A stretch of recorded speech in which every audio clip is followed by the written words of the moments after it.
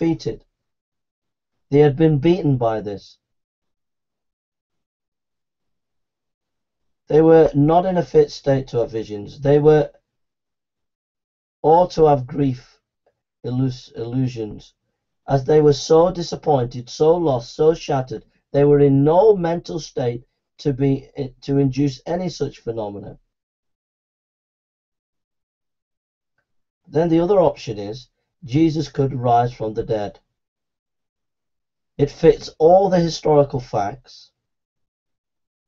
It makes perfectly clear why Peter was a coward one minute and bold the next. It makes sense to put Mary as the first witness because she just was. It happened. It makes perfect sense the disciples Jesus rose from the dead as they were crushed by Jesus' death and were not expecting anything. And then the next minute they could be bald. It makes perfect sense, and that's why Mark told it. You might say miracles do not happen, but that is just a philosophical argument. And if you were honest, you would say the only way to know if a miracle happened is to check the historical data.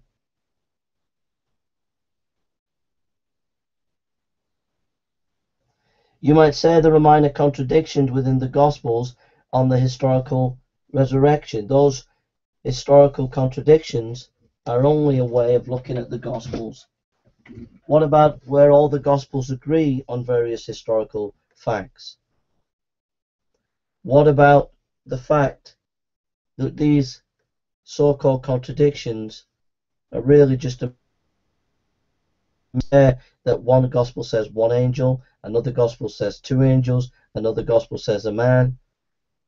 It's obviously looking at things from a different perspective. If I say there was one angel at the tomb and my friend says there were two angels, if they if I say there was only one and my friend said there was only two, that would be a contradiction.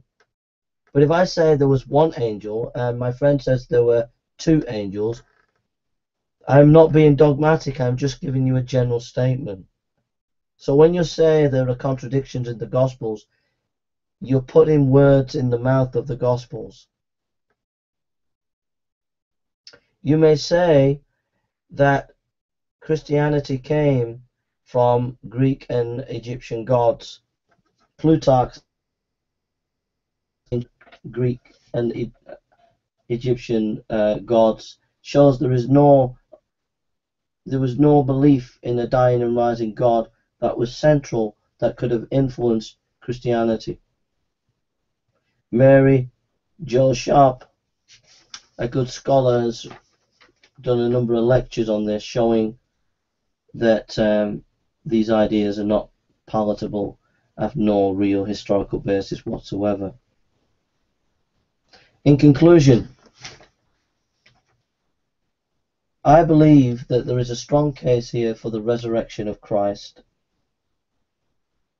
I believe it's important to consider it. Antony Flew said, the evidence for the resurrection is better for claimed miracles in any other religion. It is astoundingly different in quality and quantity. Gary Habermas' My Pilgrimage from Atheism to Theism, an exclusive interview with former British atheist Professor Antony Flew, available from the website Biola University, www.biola.edu. So we've we've come to the end.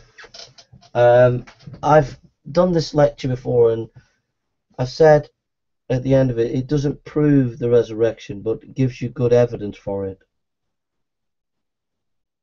I would reconsider my statement. I would say um,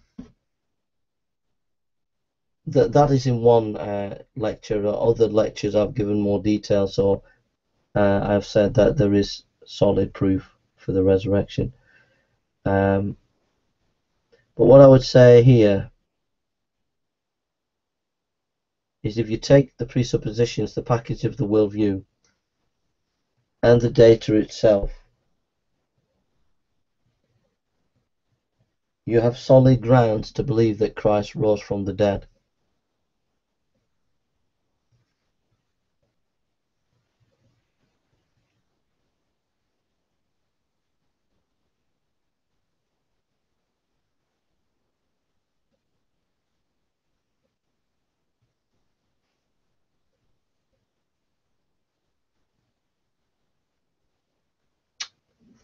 Those are my conclusions.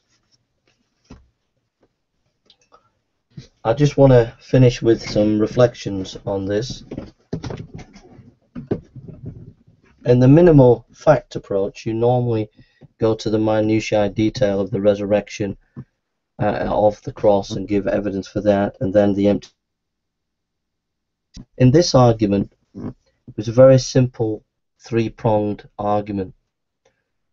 Show that the Gospels are early source material, that is to say, first century show that the Gospels are historically reliable, and then generally trustworthy, and then three, show that the Gospels are based in eyewitness material. Show that hmm. this information has been consistent in the historical documents from the first and second century, and therefore you have a strong case that Christ rose from the dead based on those facts.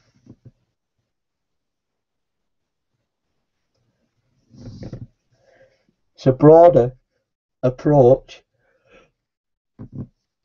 than the minimal fact approach. All the other views that would come against my view, such as um, Richard Carrier, Dr. Price, Bart Ehrman. None of these competing views would cover all the facts, like like um, the resurrection. So the Christian faith is in a very strong position in its proof that Christ rose from the dead. Um, Again, I think that the debate has to be on the grounds of data and presuppositions. And I take a more nuanced position. I, I, I take presuppositions and facts go together. They can't be separated.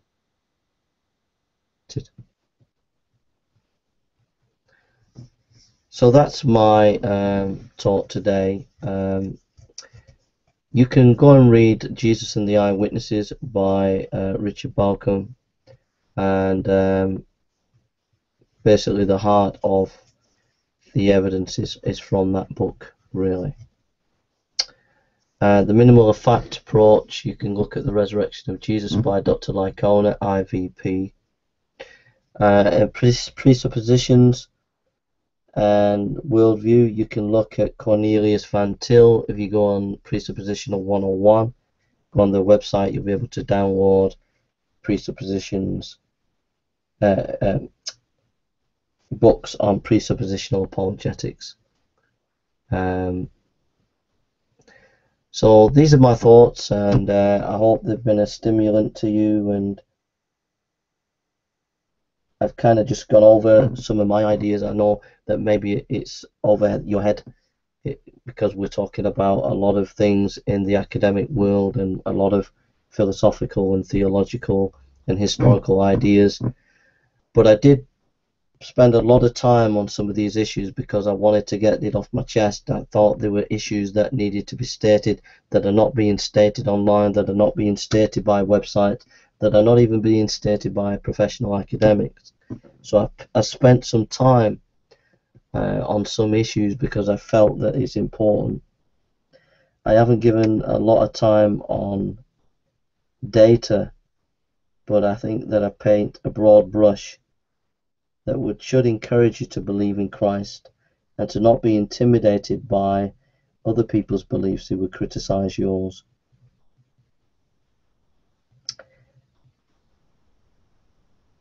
urge you to go and study the scholars that I've mentioned and um, you know learn about the subject and engage in the subject if you can.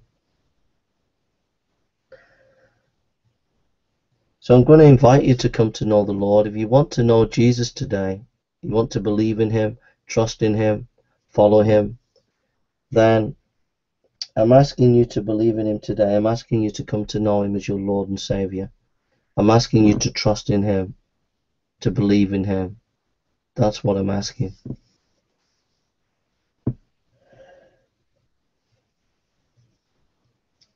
So let's come before the Lord. Father, we thank you for this day. We thank you for your love and your grace. We thank you for your blessings. We give you the praise. We give you the glory today. And so, Father, we pray that you be with us now. Bless this lecture. And may people come to know you as Lord and Savior. So, Lord, I pray that you would bless in the name of you, Lord Jesus Christ. Bless us all. Bless every individual that watched this video. And may we all come to know you as our Lord and Savior. We praise you, Lord, in your name. Amen. Okay, I think that's it now. I think I'm going to make a cup of tea now, folks. And uh, so I'll leave I'll leave the uh, comment section open. Please feel free to make comments. If the comments are stupid, if they're abusive, then you will be banned from the channel. So it's up to you. If you want to engage in debate and discuss, then write your arguments down. In a week's time, I'll come back and I'll I'll give you my thoughts. If you just put abuse, uh, you'll be banned straight away. So uh, this is an opportunity for dropout or uh, they want to debate and discuss, put your comments there and your arguments, and I'll come back to you in a week's time. Uh, I'll make another video rebutting any arguments that dropout or any atheist out there might want to put on, I'll make a video uh, rebutting what anybody said. All right. So it's an opportunity for atheists to come back and skeptics to come back and uh, say what they have to say uh, on the issue. All right. Thank you for listening and God bless you. Feel free to mirror this video if it promotes debate and discussion. And uh, God bless you all today.